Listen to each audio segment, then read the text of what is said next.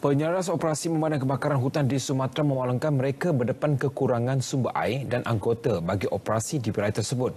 Setakat ini kawasan terbakar di Sumatera merangkumi hutan seluas 5 hektar memberi cabaran getir kepada pasukan yang terlibat dalam operasi tersebut.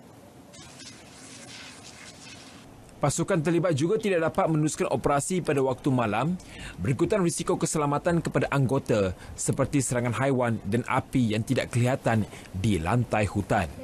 Menurut Agensi Bencana Indonesia, jumlah titik panas semakin meningkat termasuk di Kalimantan walaupun operasi semakin ditingkatkan. Sejak bulan lalu, pihak berkuasa Indonesia sudah menghantar ribuan anggota bomber dan agensi yang lain bagi memadamkan kebakaran. Presiden Joko Widodo turut memberi amaran kaki tangan terlibat yang gagal memadamkan kebakaran hutan akan dipecat.